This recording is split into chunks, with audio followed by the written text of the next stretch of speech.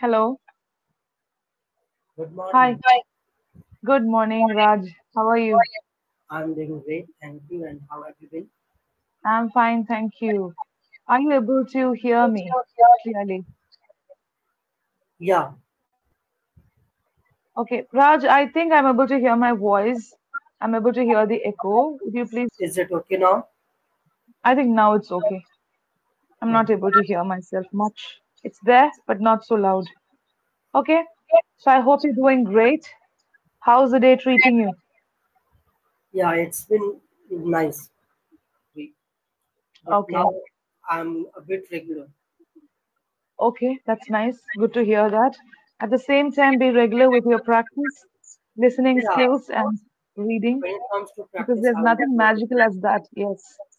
What I understand from years of experience, speaking is important, but listening and reading also does the magic definitely. parallelly. Yeah, And otherwise, just speaking is not going to in help. that Yeah. context, there is another question I'm trying to make it out that Okay. uh, reading one or two pages, like I had explained to you earlier, uh, that I have been trying to make the habit of reading that way. But since in the starting few days, I had the habit of reading any book in one sitting. So I I still get hooked on to that. And I feel like, let me finish it as much as possible. Hmm. Since that Okay. is not uh, possible now because of certain Mm-hmm. other reasons Mm-hmm. uh, and timing issues. So, how do you uh, think that the habit can be made of reading one or two pages? It's not just one or two pages. What I would recommend is I said at least, I mean, I generally tell the learners if you're a beginner with reading, you can begin with two, three pages. Because some people are not comfortable with reading. But for you, you're already comfortable with reading. You have been re- reading for some time. And due to time constraints, you are not able to read in one sitting. Or maybe read more pages than is expected, than is planned, than what was planned for the day. Now, that is okay. Time constraint is there for anyone. Even for me, I'm a busy person. But I make sure that I read at least one chapter a day.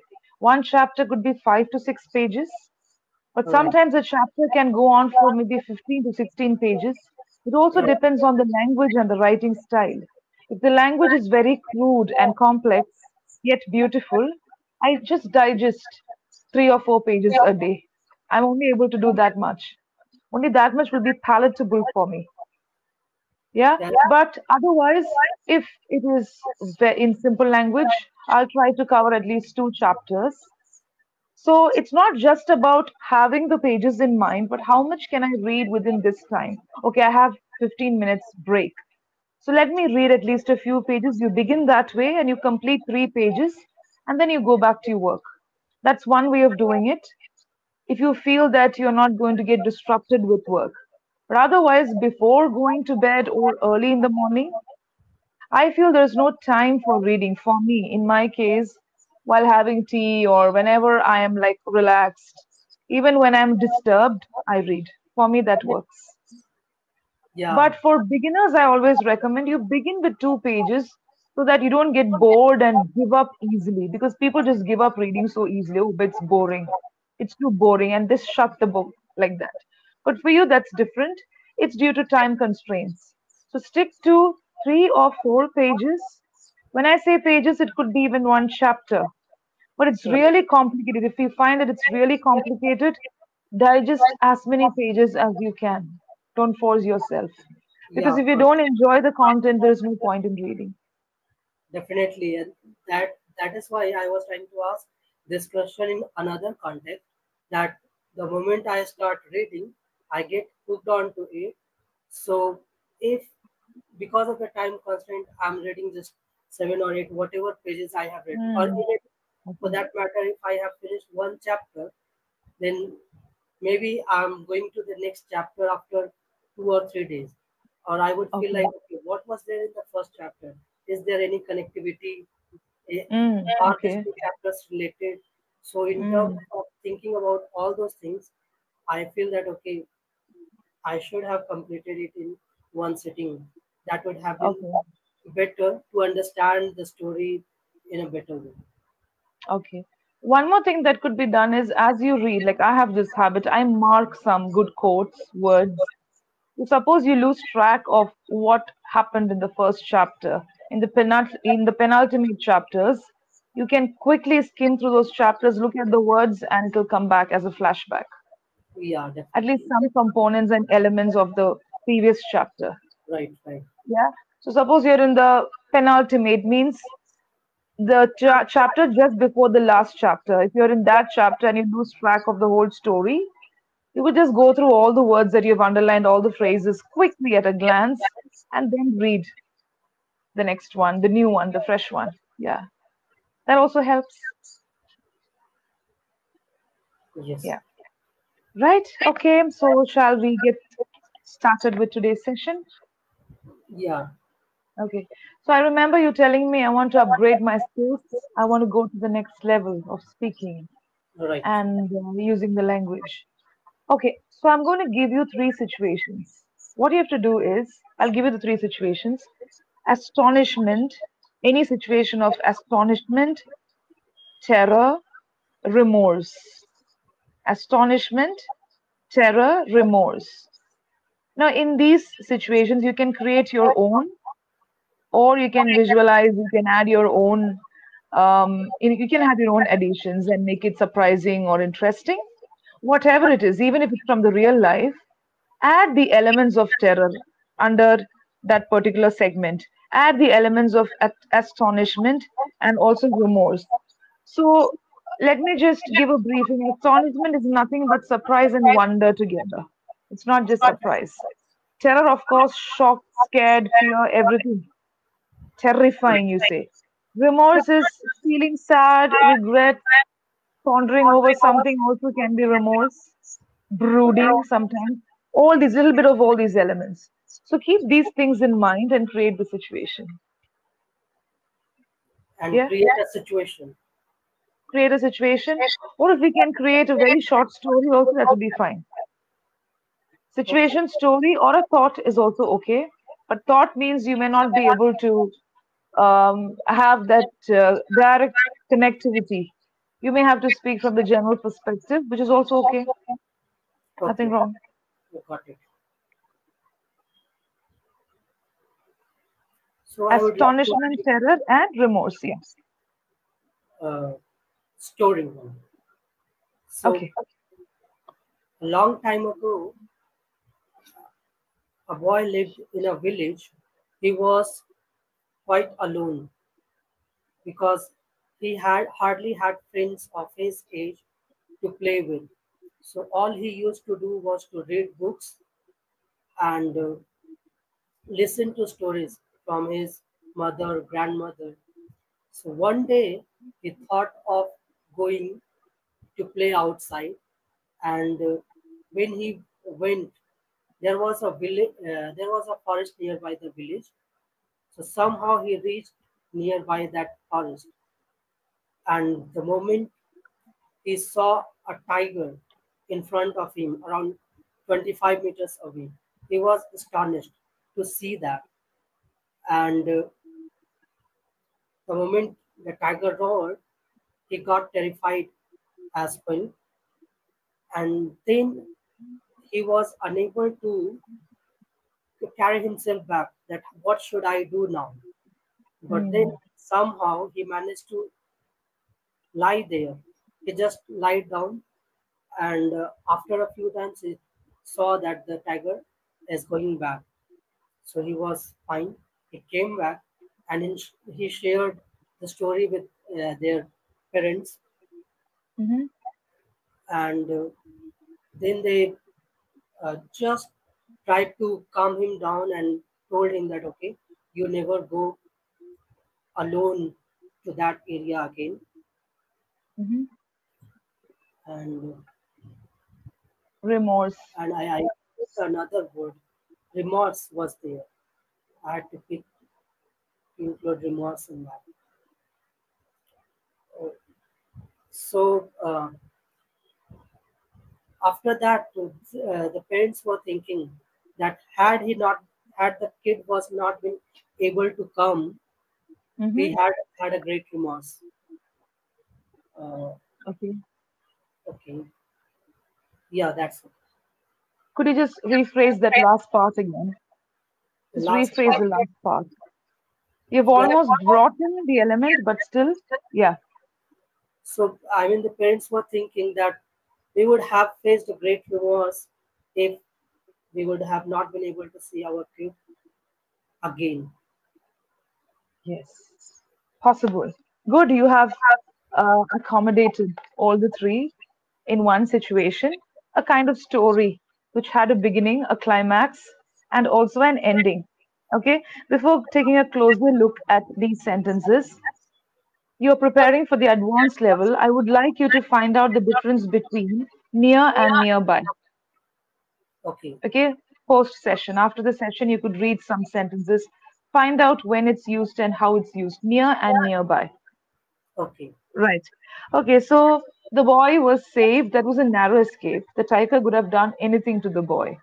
So you could have told that he noticed that the tiger was retreating, slowly moving back, was not very happy with the boy. Maybe he was skinny or felt that it, he was not going to make a big meal for the tiger. Yeah, the tiger always looks at the person. So a little bit of comedy or a little bit of thought, maybe. Uh, so Right. maybe the boy said that maybe the tiger did not find me, find a good meal in me, and that's why it decided to retreat back to the densities of the forest. Okay. Then um, he comes back, and then the parents, the grandmother and mother says, "You never go." So it could have been, "You should never go. Never even attempt going to the forest alone. Don't do it, especially in these late hours. You need to have someone with you." yeah otherwise also why did you go what was the need for you to go alone yeah so you can use words like chiding scolding Right. okay giving admonishment like you know um, giving a sort of warning with some kind of assertiveness. Right. Right. yeah. And um, okay. So now you have used all these three astonishment terror remorse. Can you add a little bit of happiness into the same story? You can add you can extend the plot if you want. You can add something in between. It's up to you. But now add some happiness or excitement?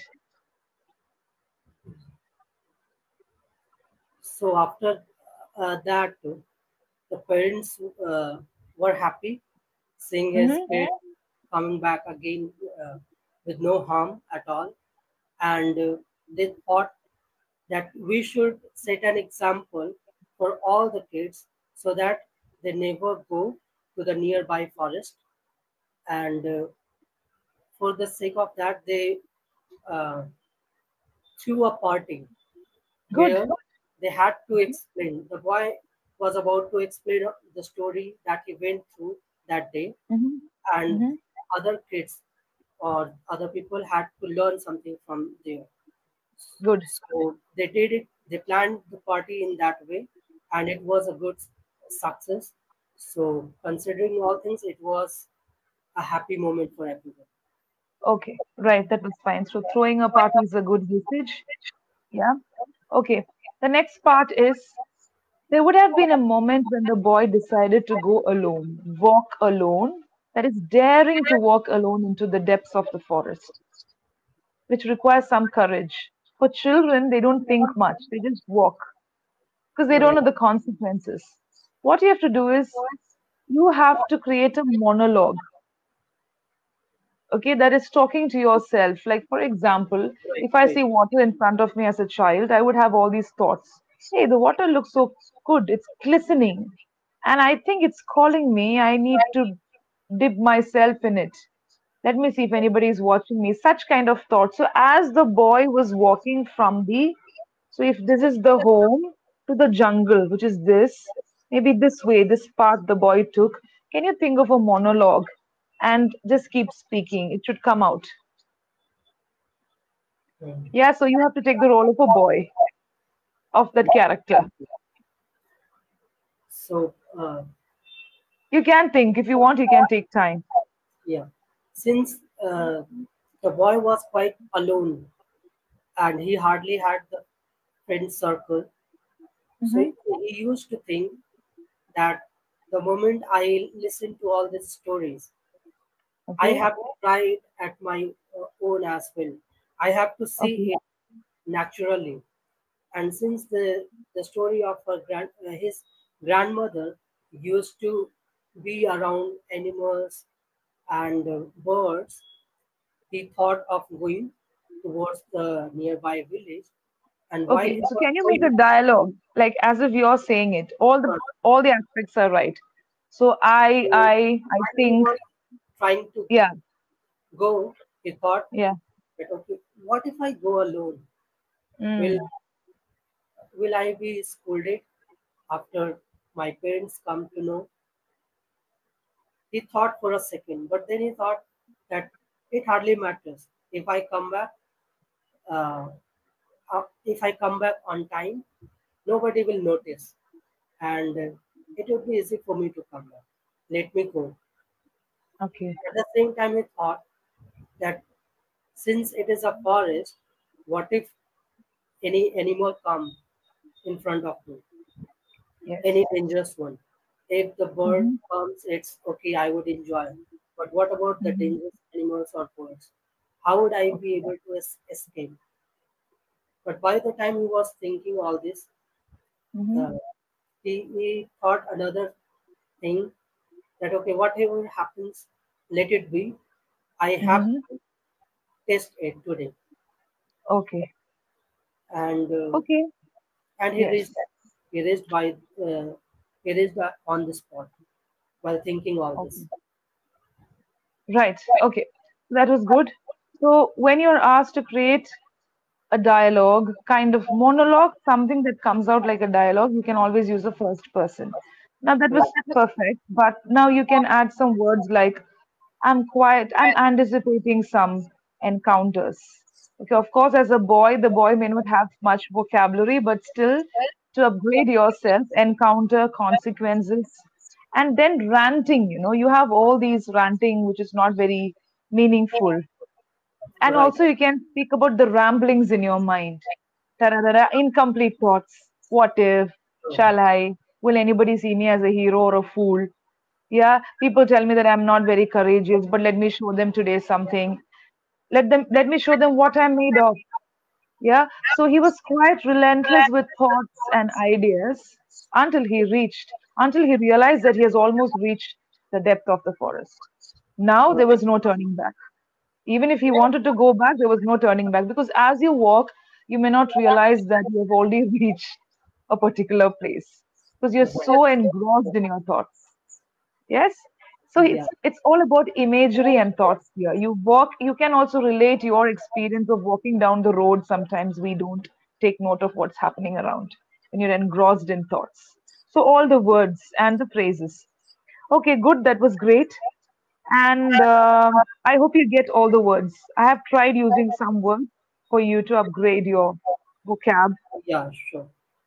Okay, now what you have to really work on is words like animals, ah, Animals. animals, yes, yeah. But most of the words do not have this issue, only here and there. Animals is not right. Animals, animals. attempt, yeah, attempt. So I'm putting more words. Endanger, danger. So you can stress the word danger. People say that I'll be in danger. What danger? Let me see that to myself. Let me experience it. Right. So as a child, as a child, always they will have that kind of curiosity.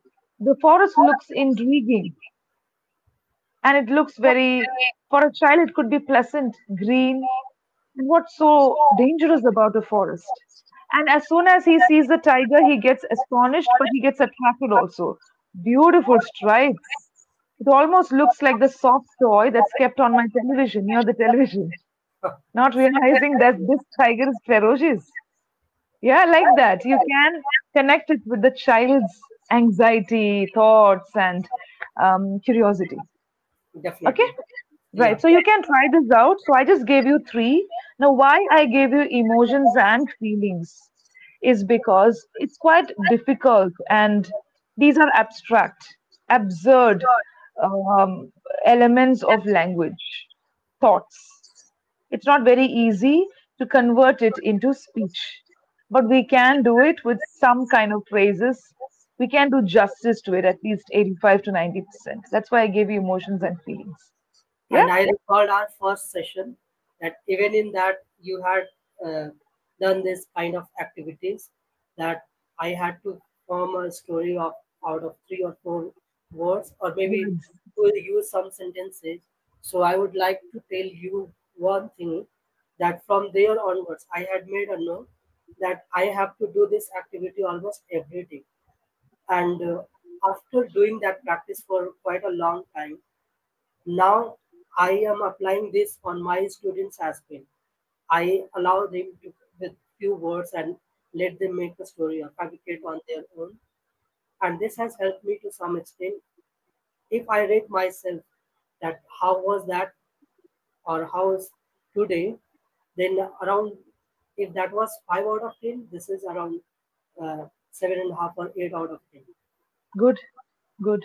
I Now you have to still work on it. Yes, of course, I have to touch that 10 out of 10 for sure.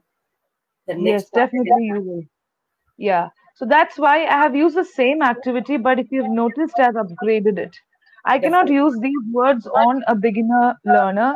The beginner may ask me, astonishment, what is the difference? Then I have to explain. Allow him to experience that particular emotion. If you're not able to experience it through a story, then there's no point in giving. So I know where you have reached from the way you convey your thoughts because you're very good with details. Details means you're very good with observing, as observant as always. So there you have reached the level, though you are still working towards your vocabulary. Good. Thought comes first before the speech.